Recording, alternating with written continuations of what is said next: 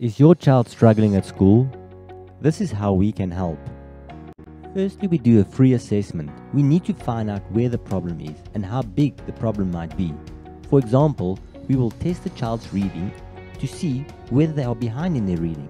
We then determine the comprehension reading age. Does your child actually understand what they are reading and can they put their thoughts onto paper? How do they study if they cannot comprehend what they are reading? And how do they do exams if they don't understand the actual questions? We also do a spelling test to see what types of mistakes they make. It's the same with maths. We want to see where the problem first started.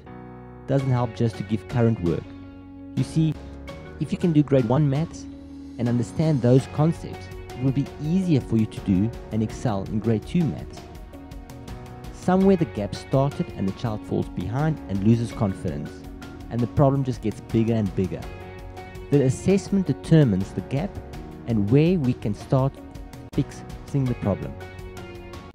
We use the assessment results to prepare an individualized program to assist your child. They come once a week for an 80 minute session where our well trained teachers then systematically work through the problem areas and address the individual needs. The sooner we start with the intervention, the better the results would be at the end of the day. This isn't a quick fix, but once we have caught up all the backlogs, that's when you really start seeing the amazing results.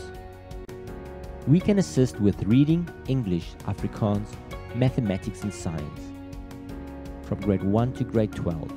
We also have a school readiness program to get your child ready for grade 1. We do concentration testing Often that might be part of the problem why they're not excelling at school.